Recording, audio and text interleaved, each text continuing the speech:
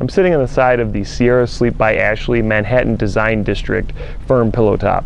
And I mean, this, you can see this mattress is really thick. It's really substantial. The edge support is um, extremely durable. I mean, I'm putting all my weight down. It's compressing very little. So uh, it's got a good solid edge. Laying on my back. This has a really firm feel.